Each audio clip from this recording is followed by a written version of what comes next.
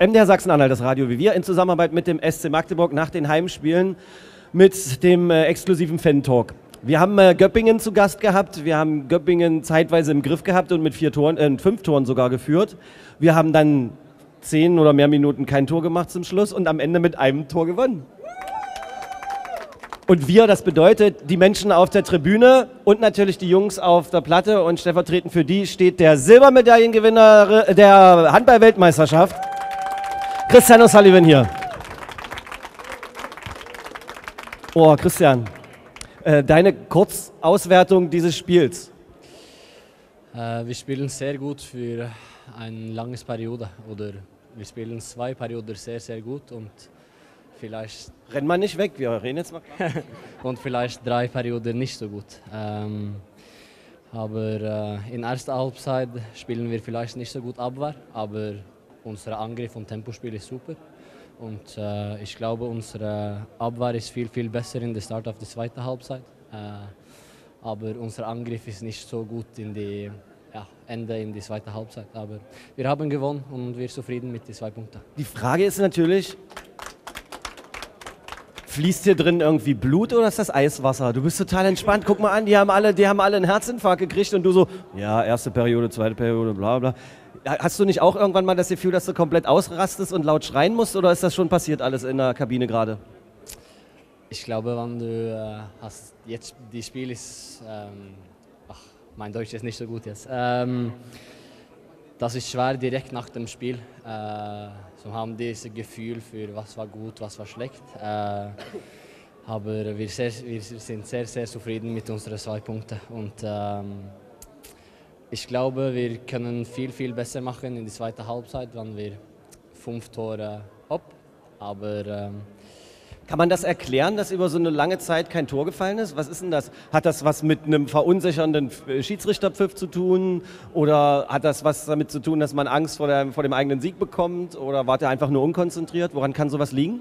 Ich denke, wir spielen ganz gut, aber wir haben vielleicht vier vom sechs Meter Wurf nicht getroffen. Und äh, das ist wichtig in den letzten zehn Minuten. Ähm, und ja, ein bisschen diese zwei Minuten auf, so wir spielen 5 gegen 6 äh, und das ist immer schwer. So, nein, ich bin sehr zufrieden mit den zwei Punkten, aber äh, ich möchte gerne, dass wir ähm, spielen besser für 60 Minuten. Für ähm, Göppingen ist eine gute Mannschaft und das ist nicht immer, du kannst spielen, du kannst spielen 40 Minuten gut Handball und habe zwei Punkte. So, es ist total großartig. Ich meine, wir haben so ein Herzschlagfinale hier gerade erlebt. Was macht denn eigentlich Yannick und äh, Jakob kriegen doch jetzt auf jeden Fall irgendwie einen Kasten Bier ausgegeben oder nicht? Oder wie sieht das aus? Ja, wir haben dich ähm, ähm, Spieler auf der Spiel. Ist das Deutsch?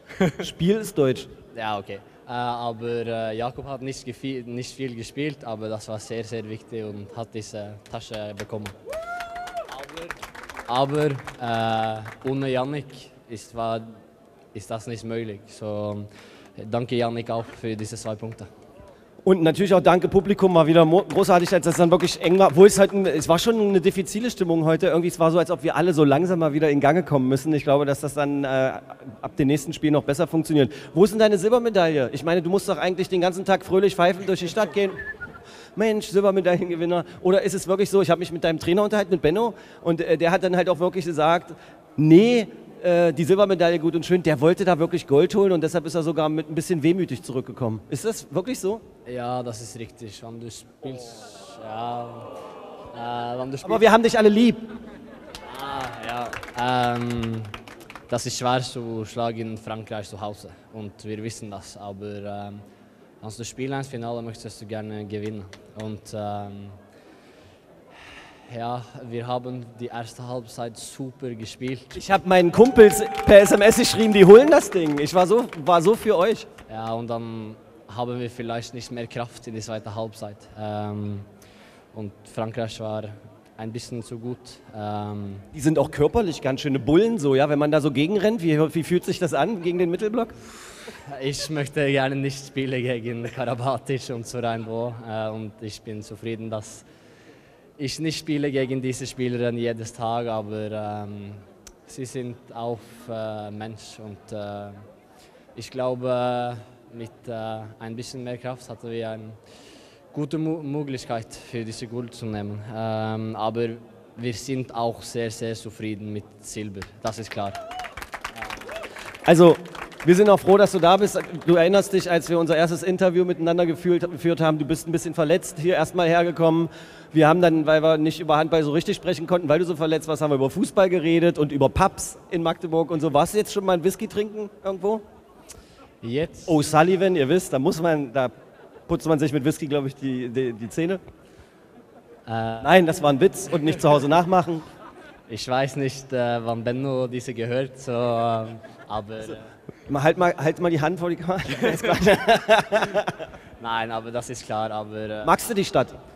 Ja, super. Äh, und ähm, ja, das war schwer in der Start, weil ich kenne kein Deutsch. Aber jetzt ist das viel, viel besser. Und ähm, das ist, war ein Problem und ich komme zurück von WM für vier Wochen mit äh, oder ohne Deutsch äh, und dann direkt nach Magdeburg. Das war ein bisschen schwer. Aber und dann jetzt direkt in den Fan-Talk?